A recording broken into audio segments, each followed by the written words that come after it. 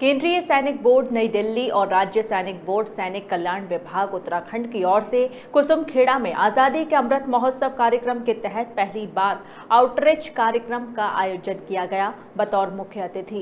केंद्रीय रक्षा और पर्यटन राज्य मंत्री Ajay Bhatt, mayor doctor Jogendra Pal Singh Rautela, major general Indrajit Singh और कोमोडोर एच पी सिंह ने कार्यक्रम का शुभारंभ किया।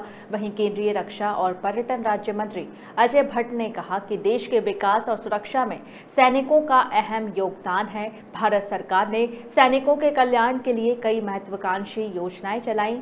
उन्होंने कहा कि सरकार ने विभिन्न युद्ध, युद्धों व सीमांत झड़पों तथा आंतरिक सुरक्षा में शहीद हुए सैनिकों और अर्ध सैनिकों की वीरांगनाओं और आश्रितों को एक मुश्त दस लाख का अनुदान दिया जा रहा है।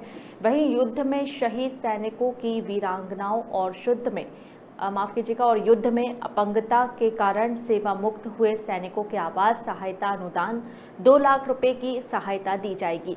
साथ ही संपत्ति क्रय करने पर स्टैंप ड्यूटी में 25 प्रतिशत छूट दी जाएगी। हल्द्वानी से दीपक अधिकारी की रिपोर्ट।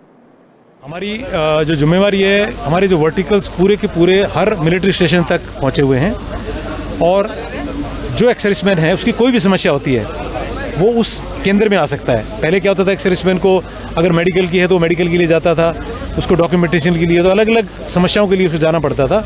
तो ये एक ऐसा सिंगल पॉइंट कॉन्टैक्ट है, जहाँ की एक्सर्विसमैन आ सकते हैं। सर्विस मैन जो हमारे हैं, उनके लिए हम लोगों ने ये आयोजन किया है।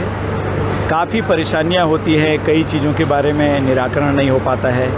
इसलिए स्थल इस पर ही हमने पेंशन के अधिकारी भी इलाहाबाद से मंगाए हैं। यहीं पर निस्तारण कर रहे हैं।